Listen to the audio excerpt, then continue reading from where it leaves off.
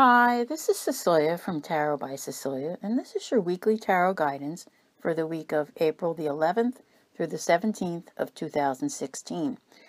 Now, what a week we have in store, and at the same time, there's not a whole lot going on in the beginning of the week. You still have that new moon energy that you can use, okay? Keep that in mind. but on the 14th, Mercury will enter shadow and you're not going to get out on the other side of this until sometime in June. So keep that in mind. Anything you need to do, anything you need to sign, it's important. Take care of it before the 14th, okay? And at the end of this week, on the 17th, Mars is going retrograde. Now, Mars has been in shadow for a little while. It doesn't go retrograde, but every couple of years or so. So when it does, it's a big deal. Ah, kind of like when Venus goes retrograde every couple of years or so, and things get really crazy. So, that being said, you know, I have a feeling we'll be discussing this a lot more. Uh, although this weekend's on the 17th, I want to make mention that on the 18th, Pluto will also go retrograde. So there's a lot of retrograde motion at the moment, okay? And that's going to make things at times seem, ugh, anyway. This week, a lot of this week, is all about your relationships and your commitments and how you hope to handle them. Now, what you're working on right now is figuring out which ones are fulfilling and which ones are not. Okay. If they're not, then they need to go. Mm, that's obvious. It may not have been as obvious before, but it really is becoming that way now. You need peace and harmony in your life, and you kind of need to oh, disassociate yourself with things. There are some things that you're just attached to, like being attached at the hip, where you feel like you can't get away from it. But there's some very positive feelings around this, which indicates that you're finding ways. I like that. Now, one of the other things that's here that has been so important, and we've talked about this before, okay? So much has happened in your life. And basically, it doesn't resemble anything like what it was for years and years. So you're really having to start over. And what do you do when you start over? Well, hopefully, you build a firm foundation. You look at what has happened and try not to be laying blame anywhere, but to figure out how to proceed to the next part and build a stable foundation for your life so that these things do not happen again. All right. And there can be so many reasons for this, but you're going to be doing things differently. And it's very favored to work on that stable foundation. Okay. Keep that in mind. Now, there are decisions being made here. How do you want to lead your life? All right. Not the way you were leading it since 2012. For some of you, for the past 15, 20 years. It's like whatever's been going on that part of your life is just done. Okay? So many things have happened. And you've seen your way through it. This is the thing that you have to realize is that you are still here. And, you know, you've been standing your ground. But there's a sense of kind of like praying for what you want and prayers being answered and looking for some form of enlightenment. All right. I think everybody needs that because they're looking for a rebirth and that, okay, I want to go this way. But you know what? The universe is trying to guide you over here. It's trying to take you to where you need to go. So pay attention. All right. You may be looking in the wrong direction. You may not. You may be in sync and in unison with the universe now and hopefully figuring these things out because I see that that stable foundation that you're creating is taking you that way. You know, you're not where you want to be yet, but you're definitely working on it. So this is important. Now, things you need to do, things you want coming to fruition for you. All right. This is a different life, all right, than what you've had before. I think you've had to learn some new things, not just new things like let me go learn this on the internet or do that. I think you've learned more about yourself and how to depend more on yourself like that mm, I call it self reliance. Okay, it's that type of a thing. How to be so good on your own. And it's important. I I talk with many of you and I see this working on. You know, that stable foundation it can include anything. Some of you actually have put yourself in a position where you need to reintegrate yourself into society. Things have happened and you kind of pulled away and maybe you've been busy with family, with children, other issues have cropped up, things have happened, and you're out of that, you know, out of sync. And now I'm not by any means saying to go backward, because I'm not. This is going forward and creating, really creating a new life, one that includes some fun once in a while. Life hasn't really been fun, has it? See, that's the thing. It needs to change. It's not all going to happen overnight, but you're coming to terms with it and coming to the realization that you can't keep repeating the same patterns and having the same life is very important because I think this stable foundation is really the key here. And it's what you're working on and you're building on. And a lot of this is about the clarity that has been coming to you. Right, the clarity is like a huge gift from the universe okay? You've been waiting, you've been wondering and trying to decide. And, you know, every plan you thought you had, it seemed like the universe shot them down and wouldn't let you go forward. It's kind of like you've been a little bit redirected. And you may even have felt a little bit trapped for a while.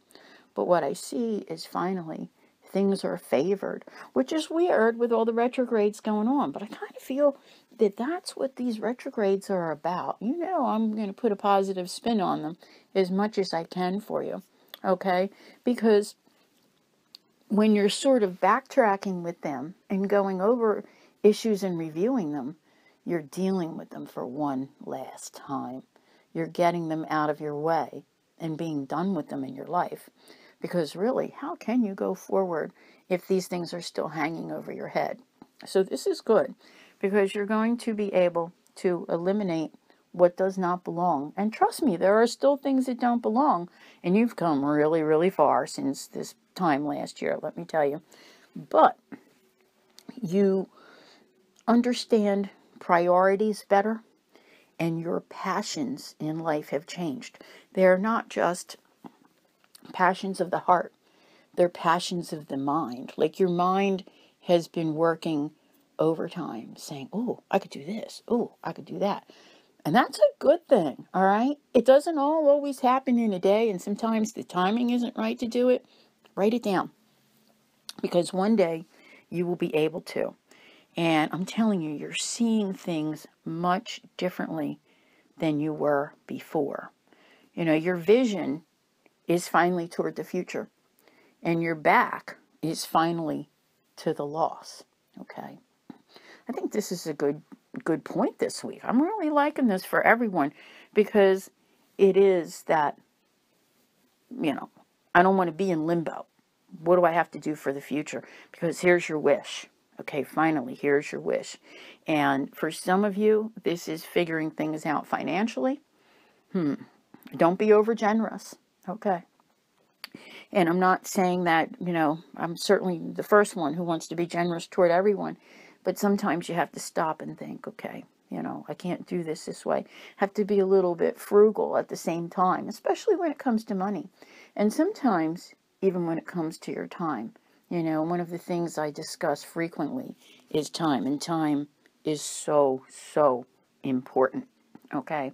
So be careful because part of your new foundation is how you use your time and how you ration it in the way you deal with others. Because what I'm seeing here is you becoming this more self sufficient person, and it's not just in a financial fashion, okay? This is about being more self sufficient where you feel good about yourself and you take the time to feel good about yourself. And that's you know, may, maybe there's some appearance changes even, but that's not really what I'm getting at here. This is about that taking the time to know you, and you'd be surprised at the person you are and the person you've become. Uh, I've seen it with many of you who, you know, talk to me privately that you've come so, so far. And, you know, a year ago, not even a year ago, some of you couldn't have imagined that you'd be where you are now. But if anything has happened, it has taught you how important your time is and how you use it wisely. So, a lot of clarity here. And here again, cutting away relationships that don't belong. I think there's a, a lot going on here this week, like really, really thinking about them. Okay. Who do you want in your life? Who don't you want in your life? And it's not meant to be like in a mean way. It's meant to be like what works for you. If someone has chosen to leave your life, certainly don't chase them. I don't see that happening. It's in your best interest to look to the future, most definitely. And you also do not need to defend yourself when it comes to relationships. See, one of the one of the problems that I see here with with clarity for everyone is that often there's fear. Like fear and clarity, they go hand in hand because fear is what prevents you from having the clarity, okay? Sometimes it, it, it sounds so silly, but I even know this from personal experience that when you take that step and you do the thing that you feared because you thought there were going to be all of these horrible things that were going to happen, it's like, I did it. it nothing happened. It's all okay. Like, you know, nothing nothing came crashing down. Nothing happened, nothing changed in my life. I still got up the next day and things went on. So, you know, there there can be illusions that are created. And I'm going to put down some more cards here as I'm talking that prevent you sometimes from going forward, all right? Because you feel like you've been stabbed in the back by the universe. But I'm telling you, there are things to celebrate. And part of the celebration, truthfully, is you. You realizing that your life doesn't have to be the way it was a year ago, three, four, five years ago, ten years ago. How long have you been allowing these things to happen? Okay? Yeah, you see, finally you can move on. And when you've come to these terms and you understand them, that's where your hope comes from. That's where your renewal of faith comes from. And all of a sudden, you know, your intuition kicks in and tells you, you know what? I think I'm going to be all right because look at what I've already been through. Yeah. See, this is a week that it's not so much that you're going to be celebrating because so much has changed. I think you're celebrating the changes within, the growth that has come for you. This is this is really really good. All right. And more and more I notice that many of you are paying attention to the synchronicities in life. All right. And how do you do that? Well, you become a better listener and you pay better attention to things, you know, what's going on. So that and no longer accepting the status quo. So, so important. You know, that same old, same old. I've allowed this in my life. See, that's the thing. How long have you allowed this to be in your life? And that's it. You just allowed it and it just kept on going and going and going. Uh uh-uh. uh. you are going to say, bye bye. I'm separating from you. That's it. See, there's a there's an important decision that takes place this week. Something's going on. And this is this is big. Matter of fact, when I think of a few of you, I'm just gonna zip it. I don't even want to spill the beans. Okay? Very interesting. But I think by the end of the week, you're going to surprise yourself with the things you have done. So good for you. Yes. You've made tremendous progress, my friends. I love this. And I love absolutely every single one of you. I have to tell you that. Some of the most awesome people out there. The comments, the messages, the things I find written all over the internet.